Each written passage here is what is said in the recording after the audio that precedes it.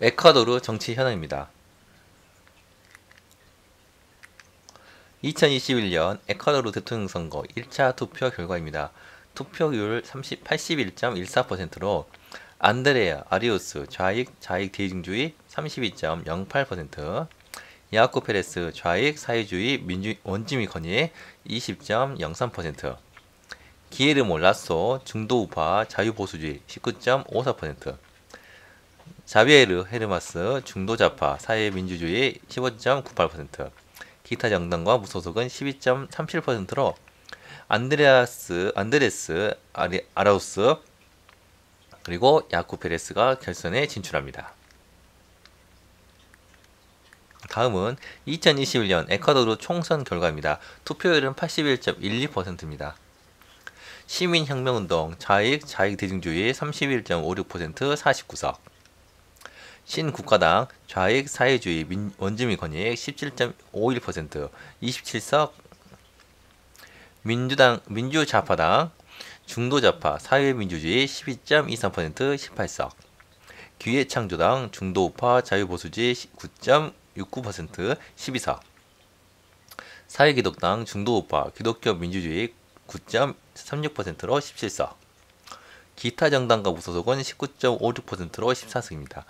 시민혁명운동이 제1당으로 등극했습니다. 에콰도르는 전체 의석이 137석으로 과반 의석은 69석입니다.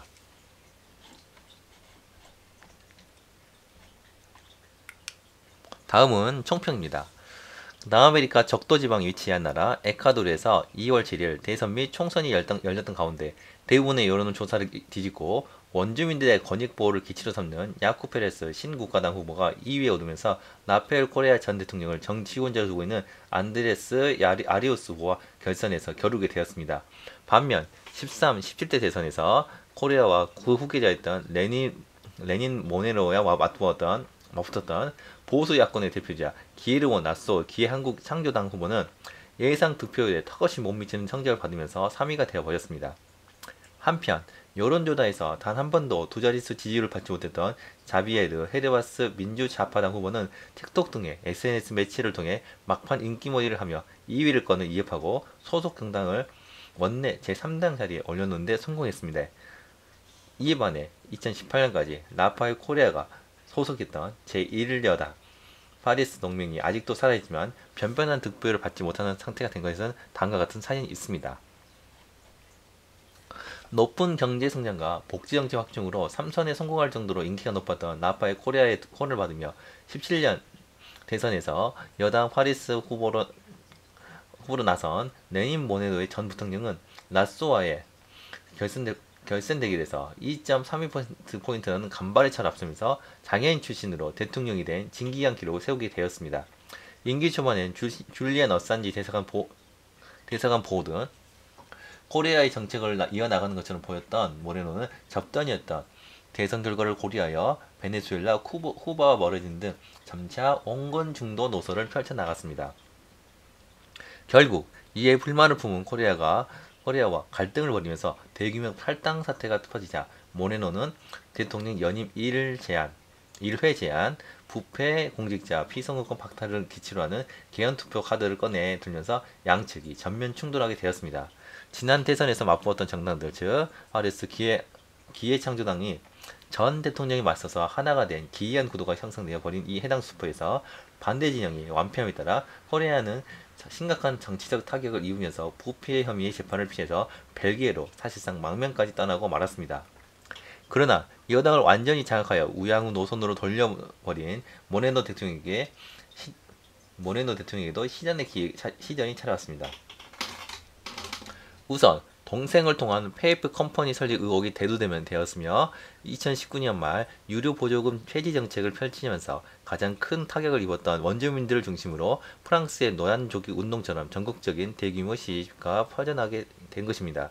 어찌어찌 비슷한 사태를 이겨낸 마크롱과 달리 모레노는 수도 키토의 세대를 피해 과야킬로를 가야길로 탈출하고 시위대는 마누레와 고레 음모임을 주장하는 추태를 보이면서 지지율이 폭락, 코리아, 코리아를 중심으로 코리아를 순식간에 무너뜨리는 초반의 기세는 어디 가고 지지율 한 자리였을 때도 미래를 걱정해야 하는 처지가 되고 말았습니다. 여당은 모레노의 재산을 고사하고 변변한 대체 후- 후보도 만들어내지 못하는 상황에 처했으며 그 반대로 코레아를 그리워하는 목소리가 높아지면서 부통령 출마 시나리오가 대두되었습니다. 처음엔 코레아가 러닝메이트가 되기 위해서 세워진 안드레스 아라우스 후보였지만 코레아의 출마가 재판 문제로 결국 불허된 이후- 후에도 지지틀, 음, 지지층 이탈은 크게 나타나지 않았습니다. 한편 우파 약, 악- 우파 야권에서도 코레아 진영의 기세에 위기감을 느끼고 일찌감치 기예르모 라쏘 후보가 지지가 라쏘 후보로 지지가 집중되었으며 대규모 시위로 존재감을 보인 원주민들의 목소리를 대변할 인물을 찾던 과정에서 이념 성향이 비, 비교통이었던 야쿠 페레스 후보가 20년도 후반부터 떠오르기 시작했습니다. 외국 자본 통제, 세금 인상, 베네수엘라, 베네수엘라, 쿠바, 중국과의 관계 복원을 외치는 아라우스 후보와 시장 개방, 감세 정책, 미국, 미국과의 관계 증진을 바라는 라쏘 후보가 극명하게 대립하는 가운데 친환경 정책 및 점진적 조세 개혁을 등 비교적 온건한 좌파 성향의 야쿠 페레스 후보와 군소정당 후보들의 지지층들이 4월 11일 치러질 결선에서는 어떻게 나뉠지가 주목받았습니다. 결선 지지율은 여론조사마다 승자가 바뀌는 등 생각보다 팽팽한 상황이었으며 코로나 사태 등으로 인해 투표율 하락이 우려되기에 강성 지지층을 많이 두고 있는 코레아 진영의 본세 강세에 대한 우파 진영의 경기도 나왔던 차에 1차 투표에서 그 우려가 현실이 되고 말았습니다.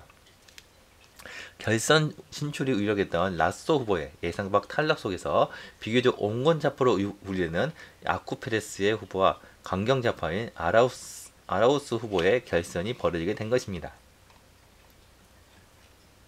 막판 돌풍을 일으켰던 자베르 헤르바스 후보는 둘 중 누구로 지지하기를 거부한 가운데 기에르모 라쏘 후보의 지지층은 어떻게 움직일지가 이목을 끌고 있습니다. 다만 두 후보 중 누가 승리로 범사회주의 세력이 승리한 만큼 중남미 핑크타이트 즉 좌파 물결에 불과하는 가시권에 가시권에 다가온 것으로 보입니다.